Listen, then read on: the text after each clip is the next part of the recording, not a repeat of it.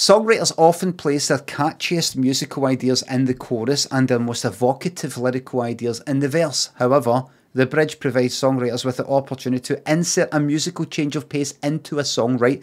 It's no said if it's in between, though. Contrast, uh-huh.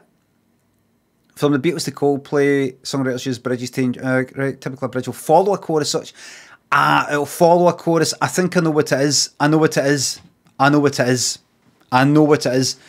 A new key, faster, slower tempo, meter change. I know what it is. So in terms of I, I know what it is. I know what it is. And if, if I, like, let me think, uh, I want to dance with somebody. Somebody loves me. Somebody who, somebody who, somebody who loves me. Yeah, that's the bridge. That's the bridge. Am I right?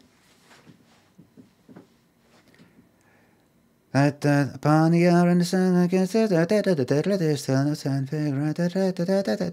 pre-chorus,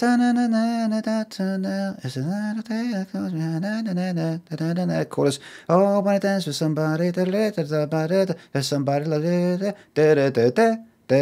I've been in love and lost myself. Verse again, pre-chorus again, chorus again, and then there's somebody who loves me, somebody who, somebody who.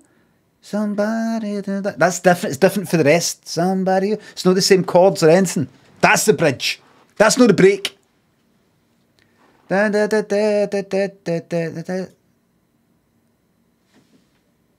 What a fucking song. I was listening to it yesterday in the shower. I was like, this is a perfect fucking pop song. It's perfect.